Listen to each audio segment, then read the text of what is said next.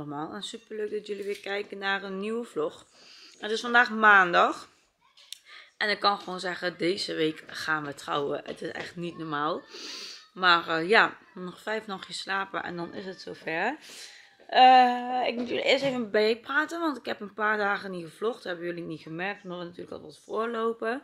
Maar uh, na Oog dat was het eerste dingetje waarvan ik dacht van uh, oké, dat gaat helemaal mis voor de bruiloft.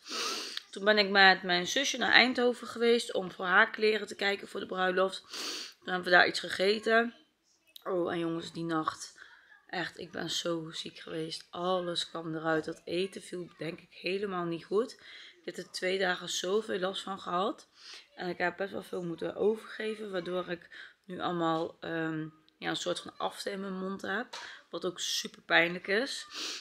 Dus ik heb al van dat spul gekocht wat je erop moet smeren. Maar eten, alles doet zo'n pijn. Het is echt verschrikkelijk. Maar goed, ik moest het weekend werken. Dus ik heb uh, uh, weekenddienst gehad afgelopen weekend. En we hebben verder helemaal niks gefilmd in het weekend. Uh, doe maar terugleggen die stiftje. Diana loopt met een stift rond. En ik zag in één keer dat hij even op de muur wou tekenen. Met stift mag je alleen op papiertje, hè? Doe maar terugleggen. Doe maar terugleggen. Doe maar dopje erop. Waar is het dopje? Maar goed, uh, vandaag was ik eigenlijk... Uh, moest ik Milena wegbrengen met haar klas. Want ze hadden eigenlijk een uitje naar een speeltuin. Maar het is zo'n slecht weer. Het regent alleen maar. Dus dat uitje is niet doorgegaan. En ze hebben nou een slaapfeestje op school. Waardoor ze in de pyjama naar school mocht. Dus super leuk. Uh, ik ben ook echt benieuwd naar het weer zaterdag. Want het staat continu op regen. Maar goed, ik uh, kijk er maar nog niet te veel naar. En we zien het wel. Ik ben ook bezig geweest met de koffers vast inpakken. Omdat we natuurlijk één dag daarna op huwelijksreis gaan. Ik moet morgen nog de hele dag werken. En de rest van de week ben ik vrij. Mm, ik moet dadelijk met Liano weer een keer naar de osteopaat tweede behandeling. Ik ben benieuwd of ze nu iets anders gaan doen. Uh, vorige keer dacht ze, hoop ze met zijn nekje hoofdje, als die het natuurlijk toelaten. Dat weten we natuurlijk ook niet. Maar goed, we gaan het zien. Uh, ja, ik neem jullie vandaag weer gezellig een dagje mee. Zo, en toen was ik in één keer alweer terug van Milena ophalen. Milena, wat heb jij nou aan? De pyjama. Waarom? Je komt net van school. Ben ik jou vergeten van morgen aan te kleden? Heb ik jou zo naar school gestuurd? Mama, van. Ja. Van? 1, 2. Oh! Maar je moet toch kleren aan naar school? Nee, vandaag hoeft dat niet. Waarom hoefde dat niet? Nou, omdat we een feestje hadden. Waarvan feestje? Thuisspelletjes. Nou ja, nou, eigenlijk jongens en meisjes, Milena had vandaag eigenlijk juffendag en ze zouden naar een speeltuin gaan buiten. Maar omdat het de hele dag regent, hebben jullie binnen van alles gedaan en moesten ze in de pyjama naar school. Nee, pintuin. En Liano, jij bent bij de nou. dokter geweest? Ja. En hoe was het bij de dokter?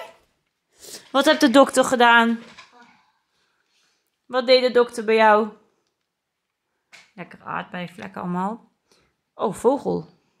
Wij zijn bij de osteopaat geweest voor de tweede keer. Ze heeft zijn buikje weer even gevoeld. Die voelde beter aan als de vorige keer. Ze heeft weer wat losgemasseerd. Ze heeft nu ook wat dingetjes bij zijn hoofdje mogen doen. Dus we moeten even kijken of het nu voldoende is. Of dat ik over drie weken nog een keer terugkom. Maar na de eerste behandeling heb ik dus echt wel... Merk ik echt wel resultaat. Positief. Is die echt wel wat vrolijker. Slaapt die beter. De opvang heeft niet meer gebeld. Dus ja... Dat is allemaal wel goed. Mama, deze doet het niet. Nee, ik denk dat het batterijtje leeg is, schat. Dus ja, even kijken hoe het nu met hem gaat. Maar ze zijn allebei hartstikke verkouden. Nee, dat niet. Ja, Melina is ook heel ziek. Ze zijn allebei heel erg aan het hoesten. Dus dat is heel fijn nu weer. Nu de bruiloft dichterbij komt. Mijn uh, zusje is ziek. Mijn vader is ziek. Alia, ons nichtje, is ziek. Bij Alia op de groep op de kinderopvang heerst waterpokken. Hun twee hebben allebei nog nooit de waterpokken gehad. Demi dacht al een paar um, vlekjes te zien. Cookie. Cookie, ga je koken? Ik wil met je aan de politie. Dus ik hoop het niet, want de kinderen hebben uh, het weekend Alia ook nog gezien. Dus ja, dan is het een grote kans als zij het het ook krijgen. En dan zal je zien. Ze zijn 4 en Wat jij 2,5. verkeerd doet, Nog nooit waterpokken gehad. dit. En dan zal het nu, met de bruiloft, zouden ze dadelijk onder de waterpokken van, eh, zitten. Oh, nou echt, ik meen niet. Ze krijgen allebei een flinke laag foundation op dan voor op de foto's. Oké, ik Oh, en dan gaan we daarna natuurlijk op vakantie. Dat is niet grappig, jongens. Niet grappig. Het weer zit waarschijnlijk niet mee. Gaan we echt zoveel pech hebben? Oh, maar ik zei ook al tegen mijn zusje en mijn vader. Beter nu ziek als in het weekend. Ziek maar even goed uit na een paar dagen. En hopelijk gaat het dan wat beter. Want eh, wat een drama. Maar goed, eh Liana die heeft net heerlijk zitten spelen, zoals jullie kunnen zien. Die heeft flink zijn best hier gedaan. Wat is dat? Eh, Fluit. ja. Maar hun twee zijn dus allebei echt wel aan het hoesten, vooral s'nachts.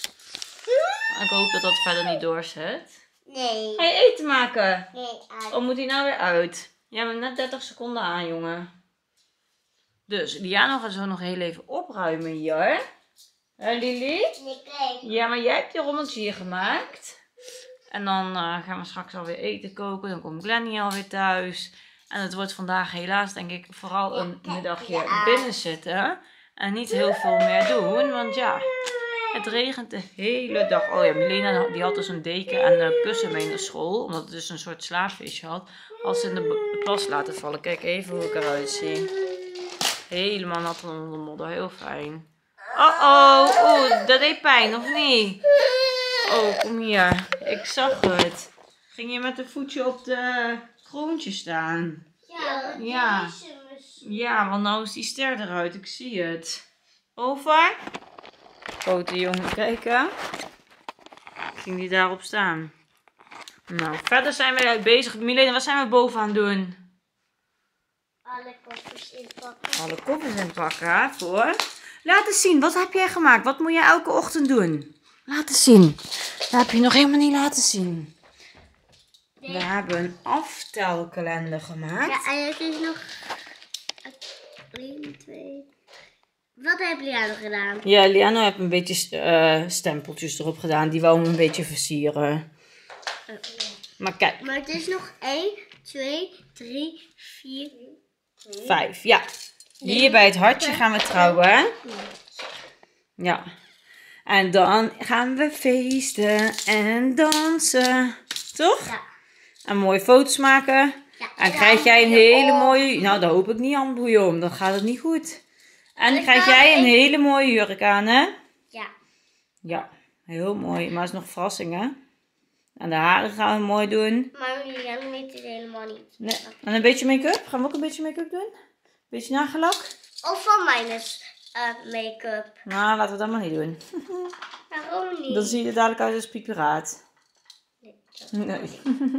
Zo, en toen stond ik in de keuken om alweer te gaan koken. En ja, jongens, we moeten gewoon nog één keer onze lievelingspasta maken voordat we op vakantie gaan. Want dit eten we echt wel één keer in de week, denk ik. Ja, één keer in de twee weken, denk ik.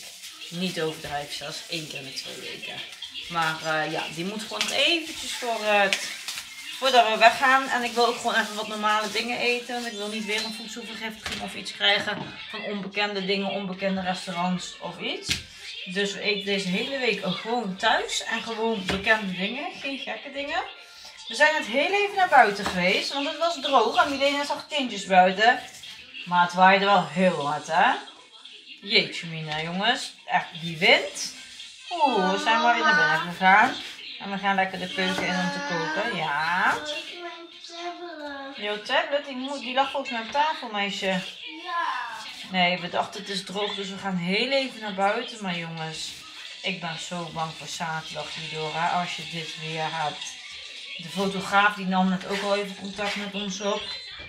Van ja, wat doen we als het regent? Met foto's maken. Nou, we hebben twee alternatieven. We kunnen of in een eh, tuinwereld foto's maken of eh, in een kerk. En eh, onze feestlocatie is ook in de stad. Dus mocht het tussendoor even droog zijn, kunnen we ook tussendoor nog even foto's gaan maken. We hoeven ons niet per se heel erg aan die planning te houden. Want ja, boeien als we even drie kwartier weg zijn. Voor of na het eten bijvoorbeeld. Dat, eh, daar maken we wel ruimte voor als ze droog is en je mooie foto's buiten kan maken. Want ik vind de foto's echt wel heel belangrijk. Dat is toch iets waar je naar terug kan gaan kijken. Dus ehm, ja, ik moet het loslaten. Ik uh, ben er veel te veel mee bezig, merk ik met het weer. Het is toch iets waar we niks aan kunnen veranderen. Dus laat het maar, Sas. Laat het los, laat het gaan, hè. We zien het wel. Nou, even de kip snijden, vlogjes editen. Meer vlogjes ben ik aan het editen nu op mijn vrijdagen. Zodat uh, de vlogs gewoon doorlopen. Uh, daar ga ik nog meer over vertellen in de vlog van zaterdag. Voor als we op vakantie zijn. We gaan uh, ja, even een korte pauze van het editen en zo. Maar ik ga wel zorgen dat er gewoon nog steeds drie keer, uh, of drie keer die week een vlog online komt. Dat jullie niet iets zonder zitten. Maar daar horen jullie nog meer over. Ik, uh, ja, zo ben ik dan bezig. Met de laptop aan, kip aan het snijden, water koken. Ik ben allemaal dubbelwerk dingen tegelijk aan doen. Jullie snappen me wel hè. En na het eten ga ik even lekker in een warm bad. Want de vlaggen van het voetbal zijn gewoon losgewaaid. Zo hard waait het. Ik heb het koud. Die ja, kip was nog half bevroren, dus ik heb koude vingers. Maar goed jongens, het gaat helemaal goed komen. Zo, en toen was het in één keer de volgende dag. En ik moet jullie nog heel even bijpraten. Want zo is er helemaal niks aan de hand. En zo hebben wij een drama gehad vannacht. Niet normaal. De kindjes lagen lekker te slapen en uh, half twee hoorde ik gehuil. Liane wakker. Sta ik niet van te kijken, gebeurt heel vaak. Dus ik loop zo half slaperig naartoe en ik zie iets langs zijn bedje liggen. Dus ik zeg, oh, heb je je tusje uit? Is je tuttie gevallen? En ik kijk, hij zit recht op mijn bed. En ik zie overal spuug. Hij zat helemaal onder. Ik dacht, en toen rook ik het ook in één keer. Toen dacht ik echt, oh my god ik moet Glenn wakker maken, want ik kan dit niet in mijn eentje. Dus ik Glenn wakker maken. Nou, Glenn is met hem, uh, ik heb hem uitgekleed. En uh, Glenn is met hem in bad gegaan om hem helemaal schoon te maken. Heb ik ondertussen zijn bedje afgehaald, tegelijk in de wasmachine gedaan. Bedje verschonen. Ik moest stofzuigen, want er lagen allemaal ja, stukjes uh, braaksel op de grond rondom zijn bedje. Stukjes kip van wat we hadden gegeten, die pasta. Dus daar heb ik even staan opzuigen, wasje gedraaid. Nou, toen heb ik hem uit het bad gepakt, een grote handdoek om hem heen geslagen. En daar hebben we eerst even zo op bedje gezeten, want hij lag zo heel zielig tegen me aan. Toen heb ik hem uh, weer een schone pyjama aangedaan, een setpil gegeven. En ik zei tegen Klein, ja, zijn kamer stinkt zo erg na het braaksel dat wij hem maar lekker tussen ons inleggen. Dus ik heb een grote badhanddoek in ons bed gelegd voor mocht hij nog een keer moeten spugen. En uh, toen sliep hij dus tussen ons in. Maar goed, dat gebeurde om half twee, dus eerder voordat we weer sliepen bij een uur verder, half drie. En ik slaap bijna niet met hem naast. Het is ook zo'n draaitol en ik kan gewoon niet met de kinderen in bed slapen. Maar goed, ik was weer een beetje weg aan doemelen. En rond een uur of vier, ik ruik zo en ik denk, oh nee ja. Ja hoor, waterdunne poep. Dat ik dacht, oh my god, gaan we weer. Weer douchen, weer schone kleren aan. Toen was zijn kamertje, want ik had s'nachts het raam opengezet, daar rook je niks meer. Dus ik zei, nou, dan ga je nu in je eigen bedje liggen, weer daar neergelegd. Want dat was een schoon bedje. Ik bij ons die handdoeken en zo weg. Nou, bij nog heel even slapen. En ik moest werken de ochtend, dus ik loop 7 uur loop ik zijn kamertje op, werd hij wakker. Weer heel zijn bedje onder met dunne ontlasting. Ik dacht, oh, hup, weer in de bad zetten. Mijn oma kwam ondertussen. Ik dacht echt, oh, die jongen loopt helemaal leeg wat ik van de week heb gehad, heeft hij nu. Oh, een paar dagen voor de bruiloft kan het erger. Maar goed, overdags ging het nu redelijk. Tot aan de middag had hij het gehad, maar hij eet niks. Heeft hij vanavond een halve boterham op. Ik ga werken, ik had avonddienst. En Glenn die zei gelijk, ja, het komt er weer uit. Weer waterdunne poep. Jongens, jullie willen niet weten hoe bang ik ben. De bruiloft komt steeds dichterbij. Het is nog maar een paar dagen nu dit weer. Het is ook elke keer wat. Waar ik dan ook nog bang voor ben, want kijk, Liano heeft nog vier dagen, morgen nog drie, om beter te worden. Ik denk dat dat wel gaat lukken. Ik denk dat hij zaterdag zich wel beter voelt. Maar steekt Lia, uh, Milena niet aan. Want dan hebben we een probleem.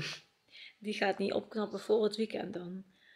Maar goed, eh, ik moet het loslaten. We zien het wel. Ik heb jullie nodig. Duim allemaal voor ons dat dit goed komt. Duim allemaal dat het weer een beetje, want ook dat geeft me stress. Het is gewoon echt heel slecht voorspeld.